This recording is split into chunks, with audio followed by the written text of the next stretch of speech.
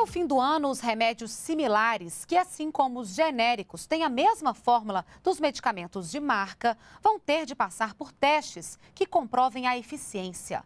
A regra já valia para os genéricos. O objetivo é aumentar as opções do consumidor, que poderá, com a mesma receita, escolher por um remédio de marca similar ou genérico. Você sabe o que são os medicamentos similares? Eu não sei, eu conheço genérico, né? E não similar. Medicamentos similares são remédios que contêm os mesmos princípios ativos, concentração e modo de uso dos chamados medicamentos de referência, que são os produtos originais com fórmula patenteada. Ou seja, assim como os genéricos, eles são mais uma opção ao medicamento original. Mas ao contrário dos genéricos, que somente podem apresentar na embalagem o princípio ativo, os similares têm um nome comercial.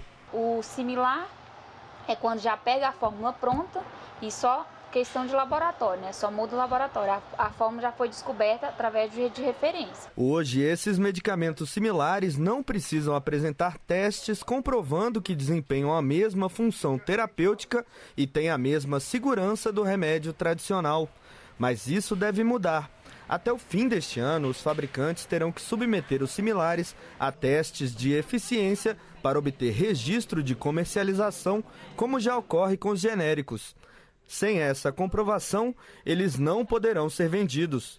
Para obter o registro junto à Anvisa, os fabricantes deverão apresentar ao órgão testes que comprovem a segurança, eficácia e qualidade dos remédios similares vendidos nas farmácias. As embalagens vão passar a ser identificadas com a sigla EQ, que significa medicamento equivalente. Esses medicamentos equivalentes passaram pelos mesmos testes que os genéricos passaram. Então, nós temos segurança em dizer que o mercado brasileiro tem medicamentos de referência e tem cópias genéricas ou equivalentes que passaram por testes rigorosos que garantem que eles realizam o mesmo efeito no organismo. Quando a medida entrar em vigor, o consumidor vai poder escolher entre o medicamento de referência, o genérico e o similar com a mesma receita médica. Os preços dos medicamentos equivalentes ainda vão ser definidos, mas a expectativa é que, com mais opções no mercado, os preços dos remédios caiam. O que o Ministério da Saúde defende é que, quando existir um medicamento equivalente, ele também seja obrigado a ter um registro de preço